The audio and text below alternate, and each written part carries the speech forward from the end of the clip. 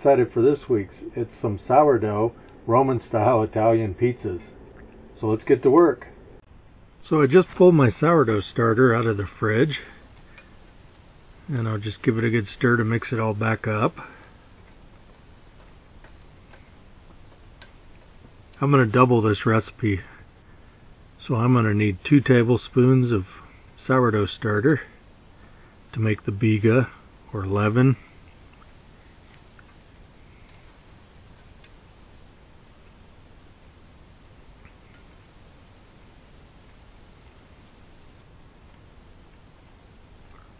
I've got half a cup of warm 65 to 70 degree water.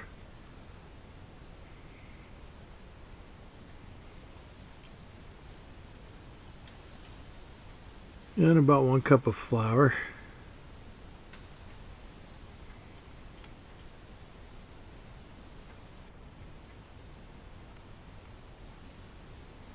And a pinch of fine sea salt.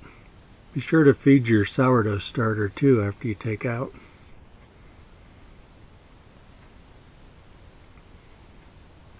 Add a little more water.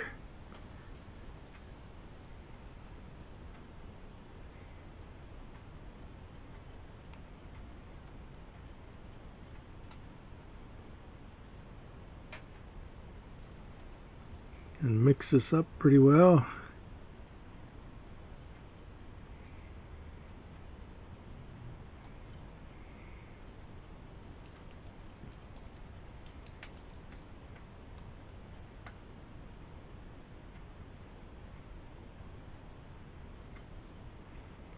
Going to cover this and put it on top of my fridge overnight.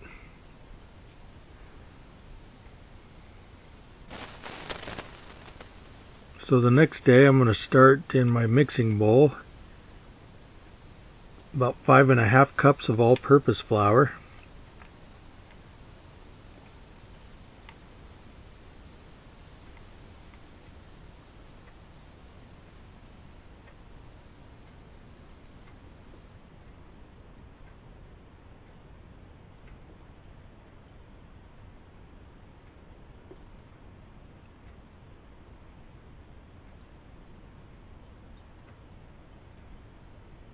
About two teaspoons of granulated sugar.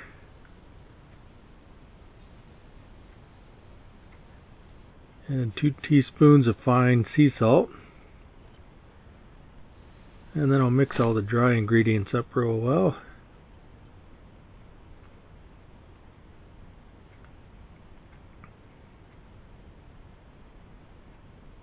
I'm going to work in about two and a half cups of warm 65 to 70 degree water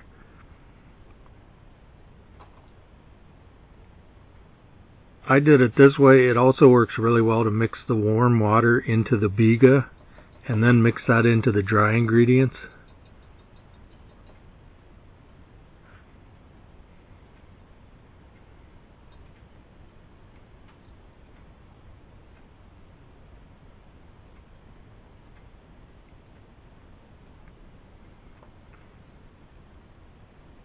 And then I'm just going to mix this up real well. Now all of the biga that I made, look how healthy it looks.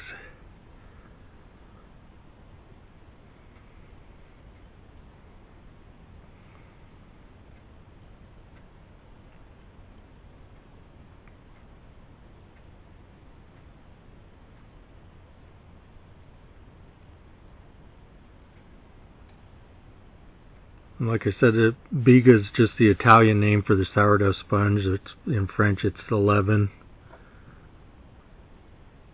Since this is Italian pizza dough, I'm just calling it biga.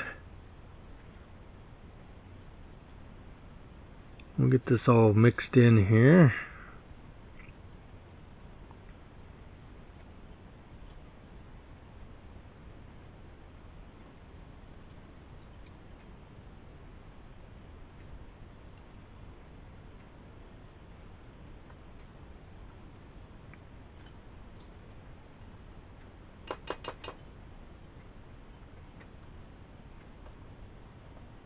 and we'll cover that and let it rest 20 minutes.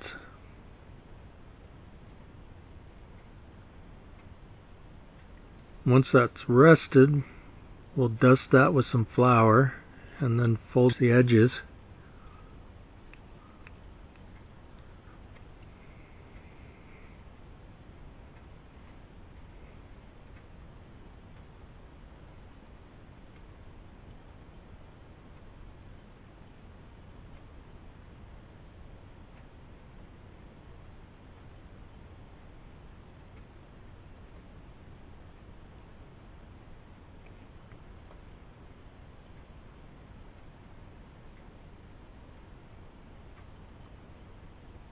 And then I'll just roughly shape that into a, a ball.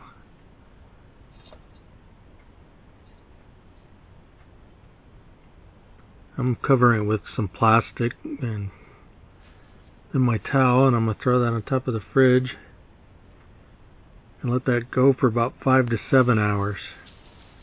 In the meantime I've split some paper sandwich bags to use to cook these on.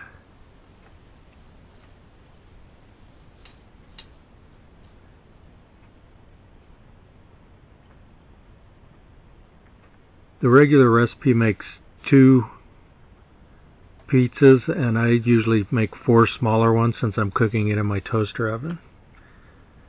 So I'm getting eight out of this. I'm just going to dust the top with some flour.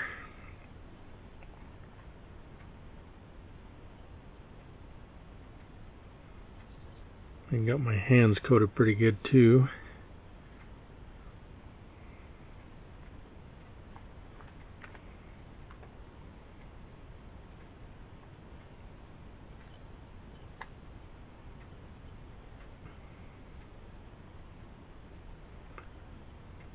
And I'm dusting my bags with flour and I'll cut this into eight pieces.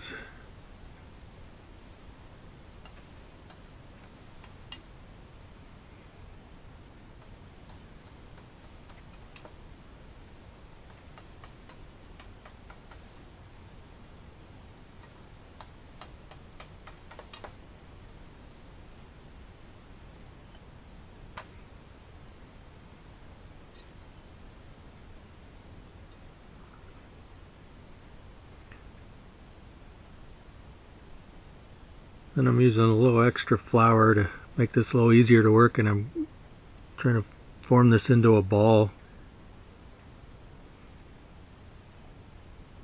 I'm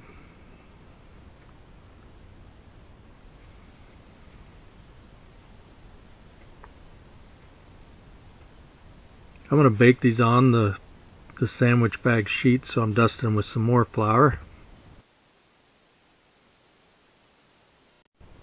I've got them all set up and I'm going to hit them with some olive oil.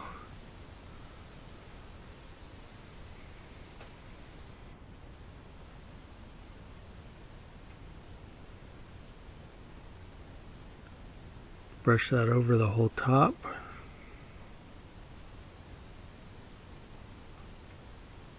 Then a little coarse sea salt. And then I'm going to let these sit on the counter for about one to three hours until they're doubled in size.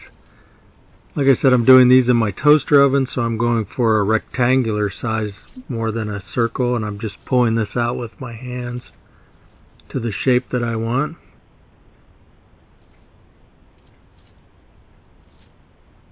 I could have floured my fingers here, but I'm just docking the the dough.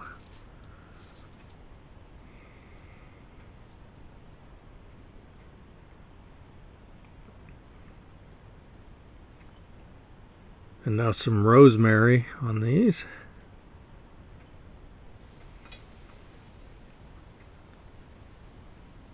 And then I'll hit them all with some olive oil.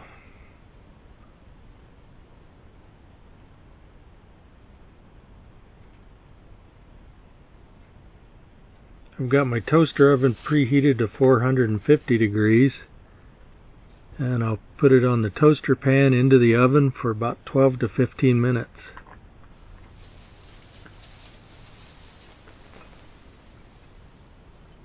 That one's looking pretty good. And then as soon as they come out, I hit them with some more olive oil.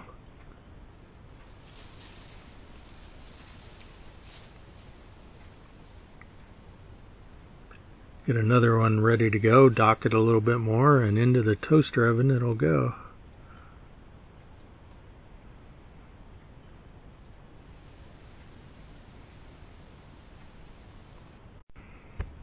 The light was fading pretty quick, but uh, here's some of the other ones as they came out. In a regular oven with a pizza stone, these would be really good, but as they are, they're great out of this toaster oven.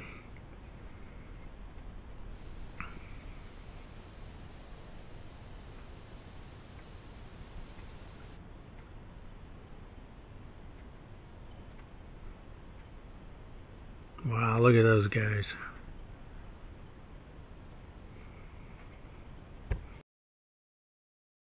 This bread is soft, chewy, and pretty easy to make.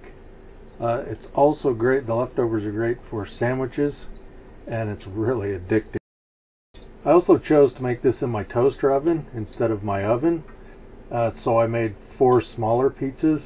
Normally you'd make two bigger sized ones. So either way you go with this, it's really good. The main thing with this is working with the sponge. If you've got a really good sourdough, it's really quite simple. I mean, you start it the night before and work your pizza throughout the day. So I hope you give this a try. Until next time, thanks for watching.